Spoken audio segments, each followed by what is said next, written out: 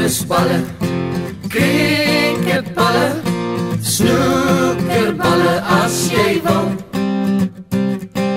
Tennisballe, cricketballe, snoekerballe as jy wil.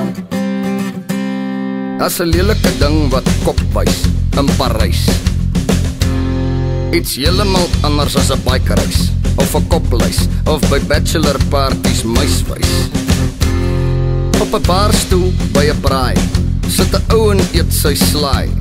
Asseblief my lief sê ja, kan ek leeu loop? Die ouens het mooi gevra.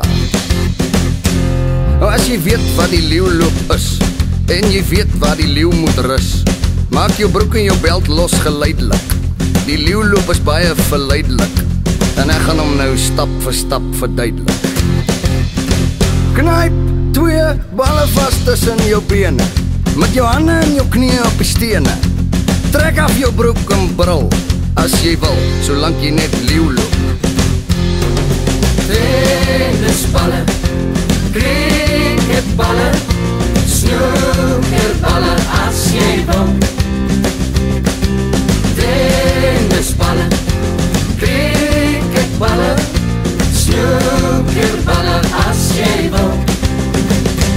My boetie Brollox wou die leeu loop uittraai by 'n spitbraai.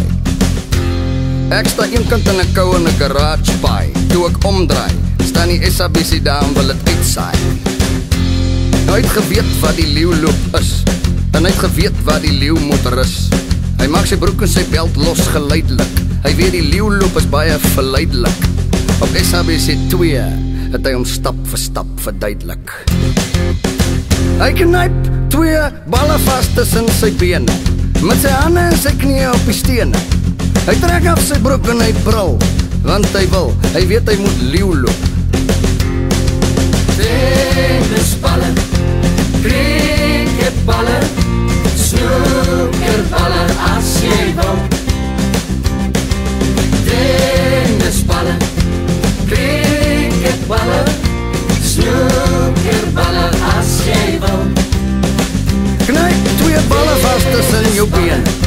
jou hande en jou knieë op die stene.